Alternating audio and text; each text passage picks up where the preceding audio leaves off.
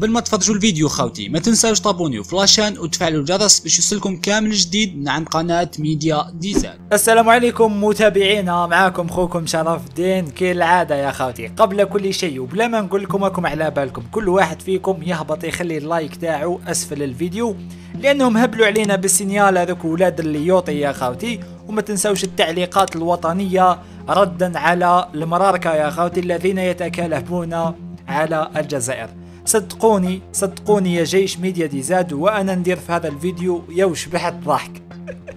شبعت ضحك تاع الصح يا خوتي لأنه بكل بساطة المغربي يثبت يوما بعد يوم بأنه ما يقدرش يعيش بدون تقليد الجزائري وبدون اخوتي الكرام الاقتداء بالجزائري. دايرنا قدوة في حياته.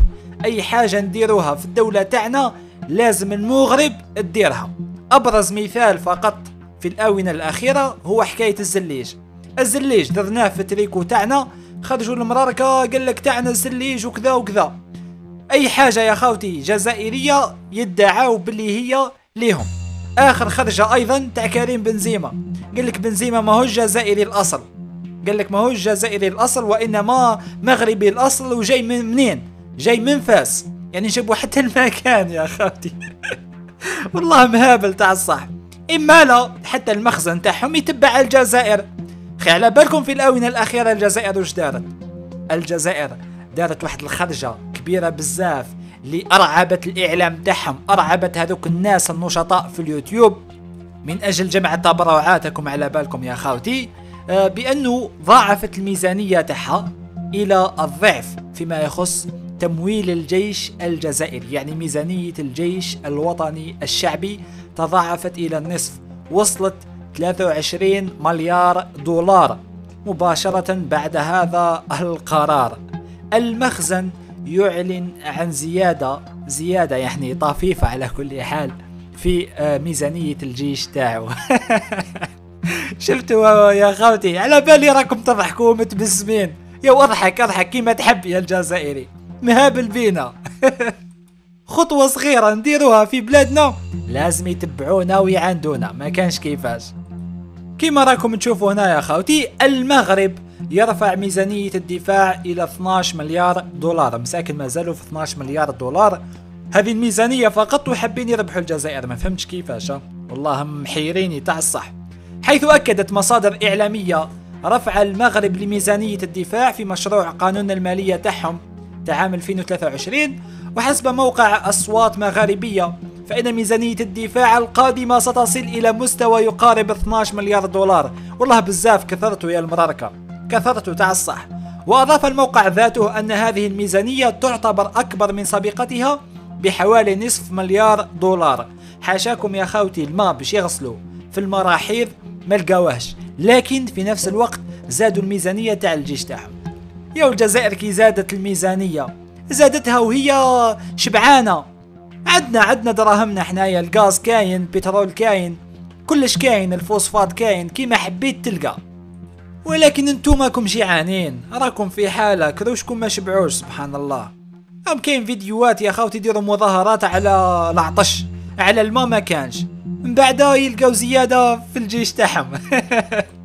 ويجي يقولوا الجزائر باللي إحنا حكم عسكري وهما حكم مدني. والله مهابل تاع الصح وتابع الموقع أن المغرب رفعت بشكل كبير ميزانية الدفاع خلال السنوات الثلاثة الأخيرة. زعما شغل لم يوجدوا للحرب يا خاوتي ولكن هذه الميزانية كاملة تروح في الدفاع؟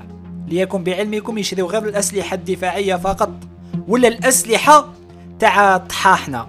كما الدرونات العسكرية كيما هذوك القنابل مثلا ما على باليش ينصبوهم بمكان بعيد وهم يبعدوا خلاص. ما يقدروش يواجهوا بطريقة مباشرة المراركة. هكذا مخدومين يا خاوتي واش راح ديروا؟ وكل هذا يعني وهذا الزيادة وكذا ومنا جاي يا خاوتي من عند الجزائر. كما راكم تشوفوا هنا أيضا.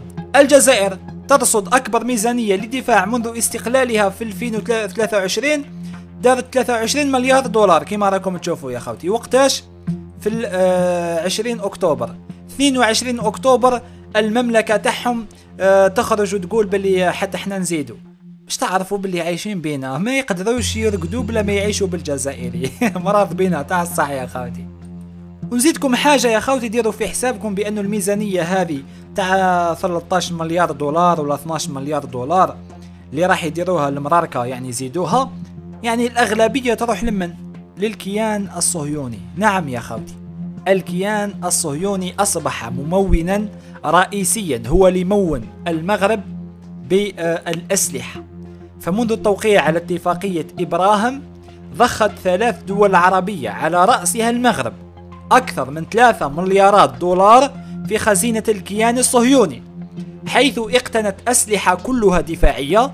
ومن المتوقع أن ترتفع هذه القيمة خاصة مع قرار المخزن رفع ميزانية التسليح تاعو بالطبع يا خوتي. يعني راح تزيد تساهم أكثر للكيان الصهيوني باش آه، يوليو عندهم الدراهم باش كيما نقولوا يزيدوا كيما نقولوا يطغاوا على الفلسطينيين. ومن بعد يجيك يخرج يقول لك والله آه، إحنا مع فلسطين ظالمة أو مظلومة وحنا يا الشعب خاطينا وكذا. يا وأنتم الشعب بأكمله بأكمله إلا فئة قليلة جدا يا خوتي. قليلة جدا بزاف اللي خرجت دارت مظاهرات هذيك. طحاحنا. نقطع إلى السطر. ما تجيوش تهضروا ما تقولوا ما والو. أنتم عبارة عن ناس باردين.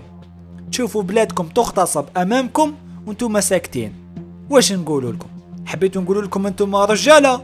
أنتم طحاحنا بكل بساطة. وجايين زعما درك تزيدوا في التسلح تاعكم وحالتكم حالة. حابين تحاربوا الجزائر؟ حابين تقيسونا زعما. حابين دغدغونا. لأنكم مستحيل تقيسونا. دغدغونا برك. يقول لك يا خاوتي اللي قاريه الذيب حافظوا السلوقي. كاينة ولا ما كانش؟ اللي قاريه الذيب حافظوا السلوقي. بمعنى إذا أنتم زدتوا التسلح تاعكم حابين تهجموا على الجزائر. يا الجزائر يا حسرة! ملي مديرت لكم حساب أنتم والكيان تاعكم والدول اللي راهي تساند فيكم والأسلحة اللي راهي تجيكم كل حاجة راهي تجي للجزائر للمخابرات الجزائرية بالتحديد بالتفصيل بالتفصيل. المغرب اشترى صفقة كذا كذا كذا.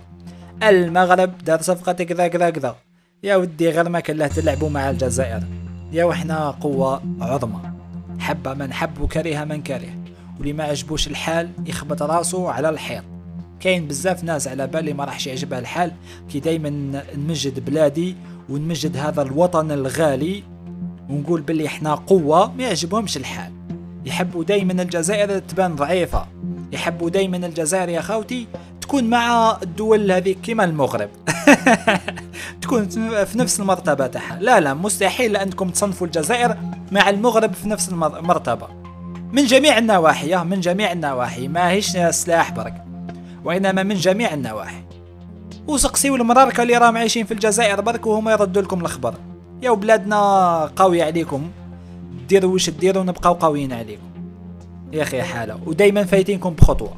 هايا المهم خاوتي تهلاو في التعليقات مرمدوهم كالعادة خاوتي والسلام عليكم ورحمة الله تعالى وبركاته.